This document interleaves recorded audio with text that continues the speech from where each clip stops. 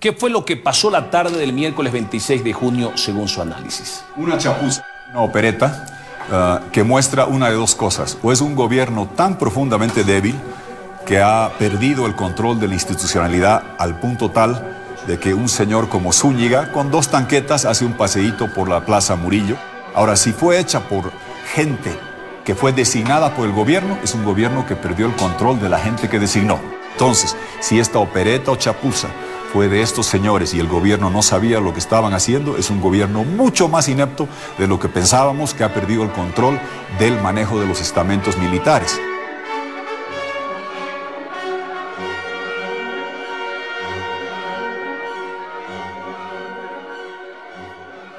Bienvenidos a Cabildeo Digital. Esta es la segunda parte de la entrevista de Junior Arias al expresidente Tuto Quiroga, realizada el 11 de julio en los estudios de DTV en Santa Cruz. Comenzamos hablando sobre la eliminación de las primarias. Este planteamiento surge en el encuentro donde el Tribunal Supremo Electoral convocó a los partidos, alianzas políticas y representantes del Ejecutivo y Legislativo para encaminar la ruta hacia las elecciones generales de 2025. Yo, Junior, creo en las primarias. Primarias sí, pero no así. No como he explicado.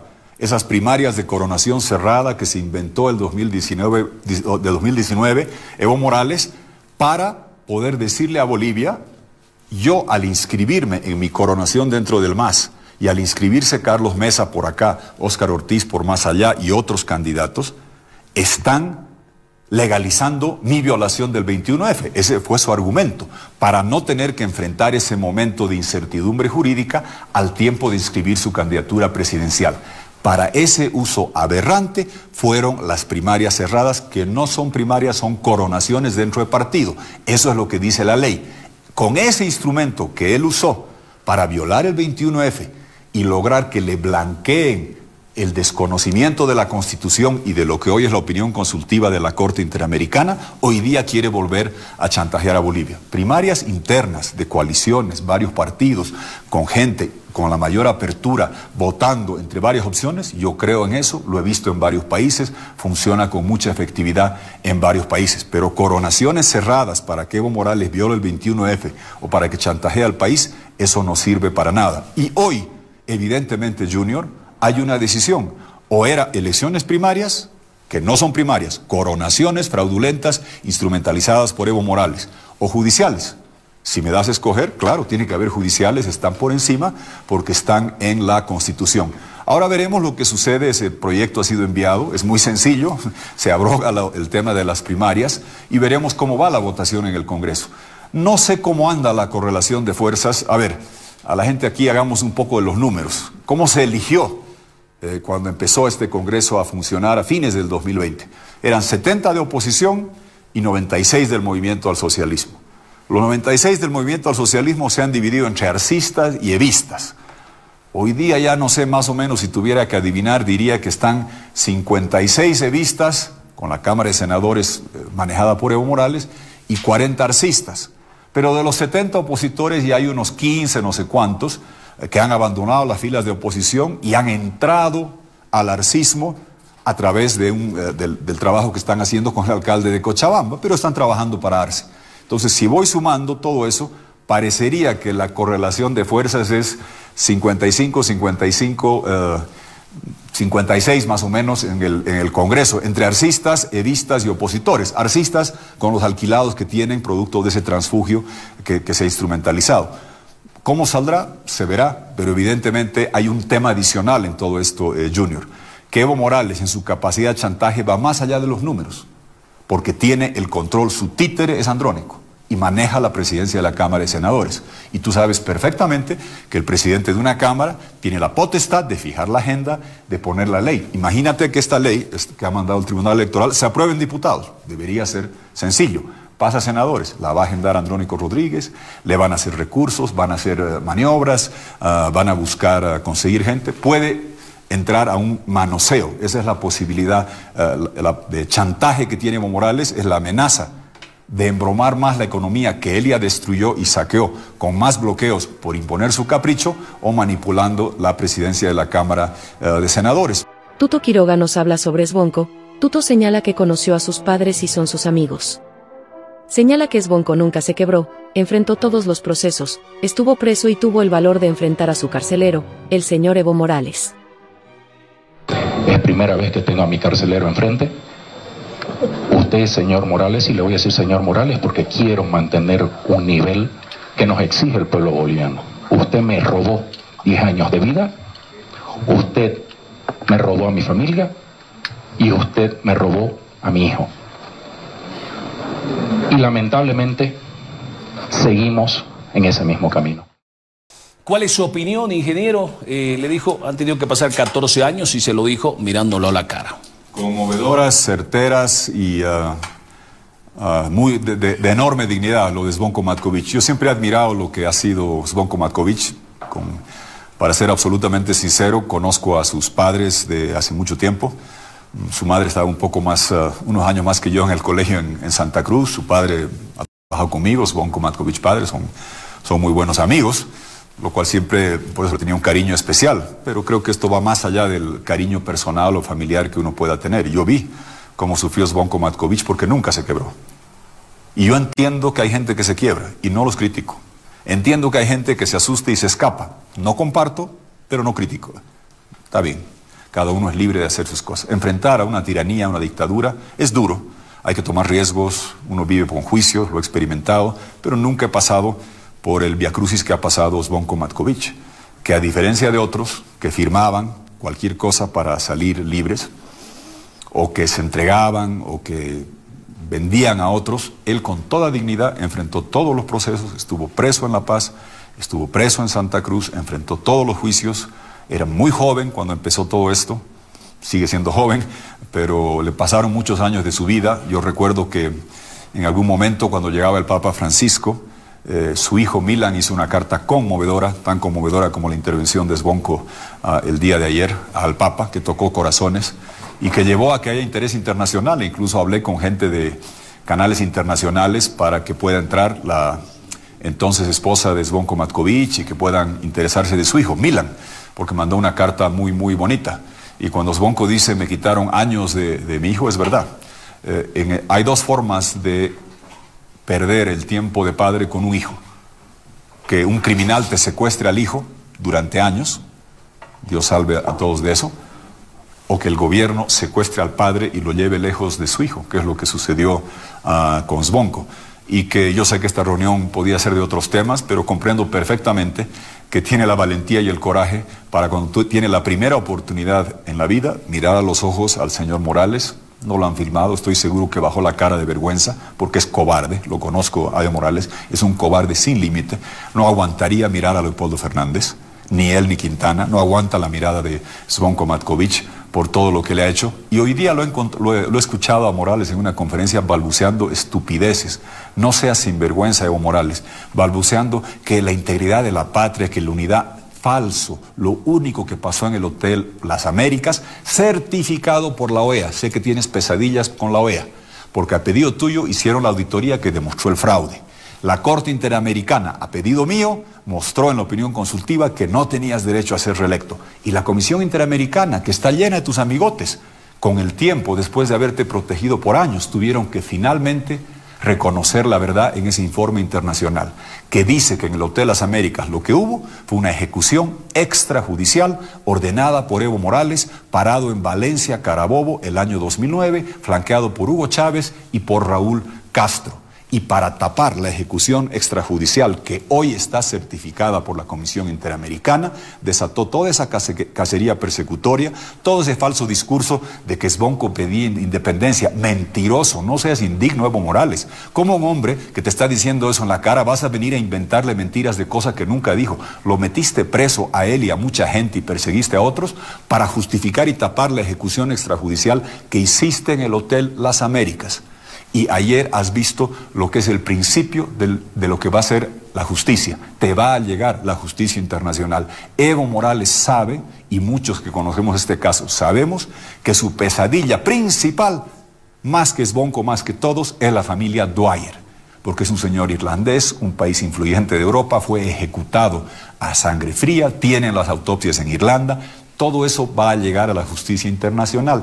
Cuando salga del sistema interamericano, va a llegar al sistema europeo. Algún día Sbonco, por ese sufrimiento que Evo Morales le ha infligido, va a ganar un resarcimiento en el sistema interamericano que no va a servir para compensar lo que con tanto dolor, con tanta dignidad y de forma tan sentida y conmovedora decía ayer, que le ha robado algo que es irrecuperable, años de su vida y los primeros años de su hijo Mila. A Quiroga le preguntaron sobre la candidatura de Branko Marinkovic. Tuto prefirió darle palo a Lucho y a Evo Morales. Quiroga señaló que es más importante hablar sobre la destrucción del Estado. No hay gas, no hay litio, no hay dólares y no hay gobierno. El expresidente destroza otra vez la pobre gestión del MAS, que se acerca a los 20 años. Mire, yo, Junior, voy a seguir fiel a lo que he venido haciendo en todos los programas. En todos me piden comentarios sobre creo que ya son 15, 20 personas que anuncian que quieren candidatear a la presidencia, yo me reservo los comentarios porque es justamente lo que no quiero entrar, en empezar a decir quién es bueno o malo y dejar de hablar de qué se debe hacer. A la gente le vengo diciendo y en tus programas con tu apertura y en tantos otros se me permite hablar de que vamos a recibir el 2025 una Bolivia absolutamente quebrada, saqueada, destrozada y pulverizada, como nunca antes la economía absolutamente saqueada, el MAS se farró el gas, se quemaron todas las reservas, no hay dólares, hay que hacer un programa de salvataje macroeconómico, de cerrar el boquete fiscal, de paliar el problema de balanza de pagos que tenemos tenemos que también, junto con eso, resucitar el gas. No hay industrialización, no hay litio, no hay mutum, no hay gas para las amas de casa, no hay gas para el GNB de los vehículos de transporte público, no hay futuro si no hacemos una resurrección del gas con un programa de reforma masivo que atraiga la inversión. Tenemos que proyectar el litio haciendo de Bolivia la capital mundial de baterías de litio y tenemos que trabajar con el mundo entero. El mundo está preocupado porque la batería de litio que está dentro del celular, que está dentro de mi tableta, que hay millones, yo tengo nueve en mi mochila con relojes y audífonos y demás, no tengo auto todavía, esas baterías de litio son el futuro de Bolivia. La transformación del occidente boliviano viene a través de la manufactura de baterías de litio, de los centros de inteligencia artificial. Hay un enorme futuro para el país, junto con la modernización del agro, junto con la reconstrucción institucional y todo lo que debemos hacer como país. Yo voy a seguir hablando de qué debemos hacer y ya llegará una fase, veremos si llegamos a la fase. Hoy, hoy se sabe, yo diría la gente puede tranquilizarse. Eh, tú sabes que la gente estaba inquieta, Junior, porque parecía que había primarias en eh, septiembre, en octubre, ¿no es cierto? en, en, noviembre. Y eso seguramente agita algunas hormonas y la gente, yo veía un montón de gente levantando la mano. Bueno, tranquilidad. Todo indica que hoy lo que va a haber es judiciales antes que primarias cerradas, que son coronaciones.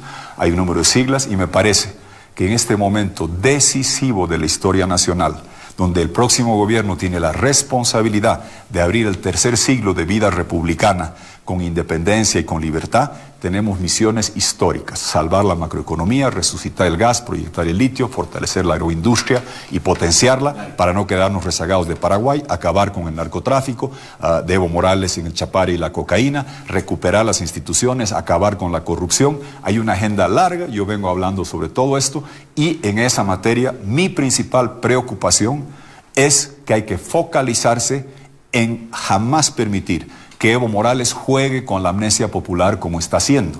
Si uno lo escuchaba ayer y hoy o lo escucha los domingos en su radio del Chapare, parecería de que él fuera un candidato que está llegando de afuera.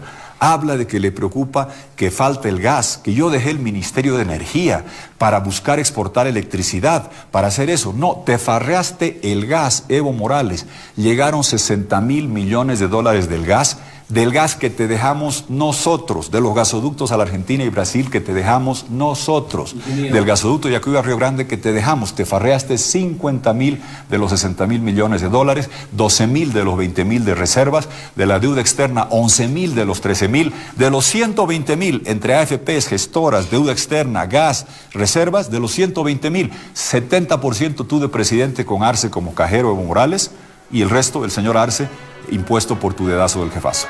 Para finalizar, Tuto Quiroga cataloga el intento de golpe como una chapuza o una opereta que demuestran la debilidad del gobierno. Ahora Bolivia, con el voto de la gente, tiene la oportunidad de sacar al masismo del gobierno, es lo que señala el expresidente. ¿Qué fue lo que pasó la tarde del miércoles 26 de junio según su análisis? Una chapuza, una opereta uh, que muestra una de dos cosas. O es un gobierno tan profundamente débil que ha perdido el control de la institucionalidad al punto tal de que un señor como Zúñiga, con dos tanquetas, hace un paseíto por la Plaza Murillo y después sale el gobierno a avisarnos y anunciar de que esto venía desde el mes de mayo, que había información. ¿Por qué no hicieron algo? ¿Cómo es posible que estamentos militares con dos tanquetas hagan esta opereta, esta chapuza que se, va en la, que se ve en la Plaza Murillo. Ahora, si fue hecha por gente que fue designada por el gobierno, es un gobierno que perdió el control de la gente que designó.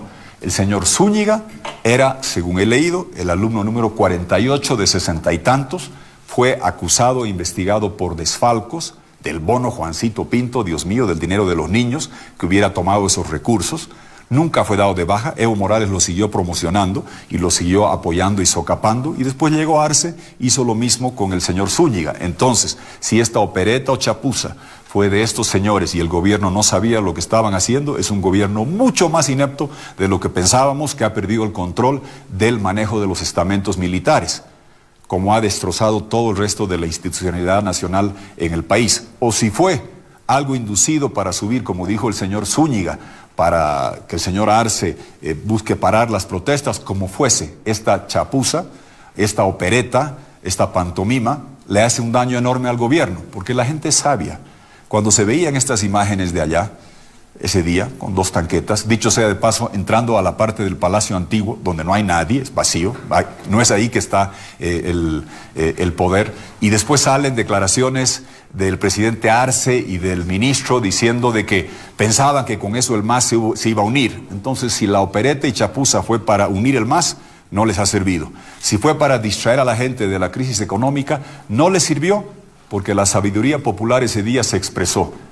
Cuando hay un ataque a la democracia, ¿dónde se congrega el pueblo? En el Congreso, en la Plaza Murillo. ¿Dónde se fue la gente ese día cuando vio esas imágenes?